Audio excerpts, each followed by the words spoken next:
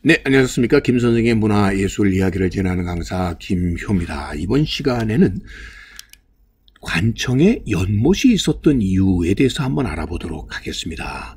자, 지금 일반적으로 관청의 배치도를 보게 되면 진입의 공간인 외산문이나 내산문과 같은 이런 소설대문의 공간을 통과하게 되면 그 안쪽으로 업무의 영역들이 자리를 잡고 있고요. 그 영역 뒤편에 일반적으로 이 연지와 더불어 정자가 마련되어 있었다고 볼 수 있습니다. 자, 지금 이 그림에서도 볼 수 있는 것처럼 이렇게 소설대문을 거쳐서 진입을 하게 되면 이 관청의 위용을 드러내기 위한 이런 행량체로 둘러싸여 있는 업무의 공간이 나타나게 되고 그 뒤편으로 연못이 마련되어 있어서 그 버드나무가 이렇게 서 있는 연못의 하나의 공간이 마련되어 있었던 것이 일반적인 관청의 모습이라고 볼 수가 있겠습니다. 이렇게 공적인 업무를 하고 있는 이러한 관청에 왜 연못이 마련이 되어 있었을까? 그것은 물론 정자가 있는 연못이 관원들의 휴식과 또 외빈 접대의 그런 기능을 했다는 것이 중요하겠지만 그것보다도 더 우선되는 것은 무엇이냐 하면은 바로 이 목조 건축물로 특히 이렇게 행랑채로 둘러싸여 있는 이곳은 대단히 화재에 취약했다는 것이죠. 한번 한 지역에서 행랑채에서 발화가 되게 되면 옮겨 붙기 쉬운 구조로 되어 있었다는 것 때문에 그래서 조선 왕조 실록에서도 개인 집은 다섯 칸마다 우물 하나씩을 각 관청은 우물 두 개씩을 파서 물을 저장하여 둘 것을 이렇게 전교했다는 내용이 전하고 있는 것만을 보더라도 결국 연못이라고 하는 것은 불이 났을 때 다량의 물을 공급해주는 일종의 소방시설이었다라고 보시는 것이 더 큰 이유라고 볼 수 있겠습니다.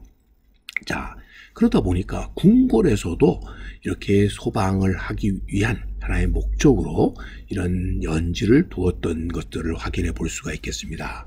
자, 조선 왕조의 법궁이었던 경복궁의 예를 보더라도 대표적으로 이 경회루 같은 경우 또 뒤편에 있었던 향원정과 같은 이런 연지들 또한 전체적인 자연과의 조화 또 풍수적인 의미들을 담고 있기도 했지만 실질적인 실리적인 면에서도 결국 이 궁궐 내의 화재를 예방하기 위한 이러한 소화수를 저장하는 공간으로서 이런 연지가 마련되었다라는 것을 알 수가 있겠습니다. 얼마나 이 조선 왕조에서는 궁궐 내에서의 이러한 화재를 예방하기 위한 노력들을 했는가는 바로 이러한 예들을 통해서도 확인해 볼 수가 있겠습니다. 긍정전을 복원하는 이런 공사를 벌이고 있던 중에서 나온 이런 육각형의 물 숫자가 적혀 있는 판에서 이 판이 나왔는데 그 판이 갖고 있는 의미는 여러분들 이 물 숫자의 부족 에서도 같은 의미를 갖고 있다고 확인해 볼 수가 있겠습니다. 용, 용자를 이렇게 써서 전체적으로는 물 숫자가 된 이 부적 또한 결국 물 에를 주지하는 용을 통해서 결국 이 물을 통해서 화재를 미연에 막겠다고 하는 그러한 막고자 하는 그런 기원이 이 부적이라든지 숫자판에서 확인해 볼 수가 있는 것이죠. 이 경회로에서 출토된 용 조각, 정동 조각상에서도 같은 의미로 이렇게 이해할 수가 있겠고요. 궁궐 내에서 당연히 식수 등의 공급을 위한 용도로도 사용이 되었지만 이렇게 우물들을 곳곳에 파섰던 이유도 결국 이런 방화수로서의 기능으로서 이 우물이 중요한 역할을 했다라고 볼 수 있겠습니다. 자, 뿐만 아니라 경복궁 금정전과 같은 이런 정전과 같은 업무 공간에 이 월대 위에 드무라고 하는 물을 저장해주는 이런 공간을 두, 두었고 그렇게 함으로써 화재를 예방하려고 하는 노력들을 벌였던 것 또한 결국 이 물이라고 하는 것을 이렇게 저장해 놓음으로써 오늘날의 방화수의 소방수의 역할을 하는 기능을 함께 했었다라고 보시면 되겠습니다. 종묘의 경우도 연못이 세 개 마련되어 있는 것을 우리가 여기 완도에서 확인해 볼 수가 있는데요. 바로 이런 연못은 일반적으로 자, 뭐 형태는 다 사각의 형태 가운데에 이렇게 섬을 두는 천원 지방의 이런 원칙에 따라서 만들어졌는데 종묘회 같은 경우는 향나무를 이렇게 심었던 것을 확인해 볼 수가 있겠고요. 이런 것 또한 다 이런 방화수의 기능을 했을 것으로 볼 수 있겠고요.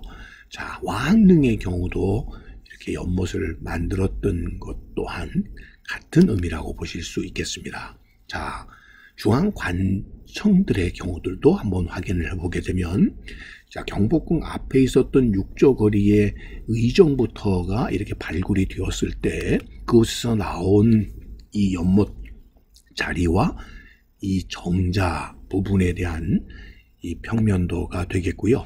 자, 이렇게 연지가 있었다는 것을 확인해 볼 수가 있고, 이 연지에 있었던 정자는 일제 강점기 때 장충단으로 이렇게 옮겨졌었던, 그래서 이 사진에서 이를 확인해 볼 수가 있는데요. 이런 의정부의 정자가 있었던 예들, 또 여러분들 육저거리의 이 병조 소속의 그 사복시에 있었던 바로 이런 연못들에서도 확인해 볼 수가 있겠고요. 형조에서 볼 수 있는 이런 업무 공간 뒤편에 있었던 연지의 모습이라든지 공조에서도 여러분들이 확인해 볼 수 있는 것처럼 자 당시에 공조의 당상관들의 업무 공간 뒤편에 이렇게 사각형의 연지가 있었다라는 것을 이 그림에서도 확인해 볼 수가 있겠고요.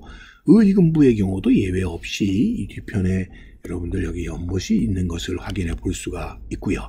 호주의 경우도 이렇게 업무 공간 뒤편에 아, 연못이 있다라는 걸 알 수가 있습니다. 자, 이렇게 공적인 업무를 하고 있는 공간에 이렇게 휴식의 공간에 해당이 되는 이렇게 연지라 정자를 두었었던 근본적인 이유는 결국 오늘날의 소화전과 소화 기능을 한 역할을 했었던 그런 연못이라는 것을 알 수가 있겠습니다.